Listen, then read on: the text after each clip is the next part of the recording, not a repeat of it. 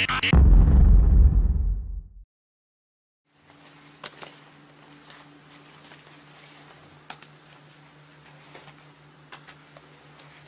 guys, your boy Classy Grappler here again with Submissions 101. Helping me out today is uh, fellow brown belt, John Afeche.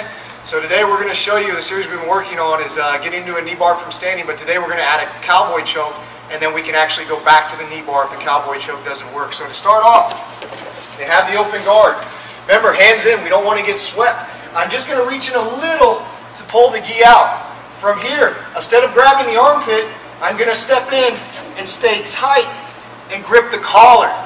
As I start leaning back and collecting the leg, I can start extending the cowboy choke for the tap. Now, in case I don't get it, he grabs my elbows, he pulls it off. I just follow my hands through, I let go of the grip, and I swim back through for the knee bar. One more time.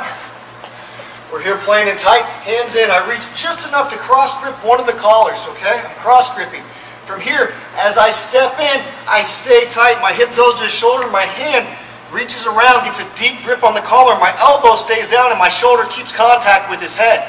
From here, I start leaning into it with my hip to get his legs up, and I collect his legs. From here, guys, I extend out and keep my shoulder tight for the cowboy choke, and if he starts to fight and pulls my hand off, I go with the flow and the energy, and I follow my finger and swim underneath the knee to lock it out. Once again, guys, it's your boy Classy Grappler, fellow brown belt John Felche here at Submissions 101. Thank you guys for tuning in.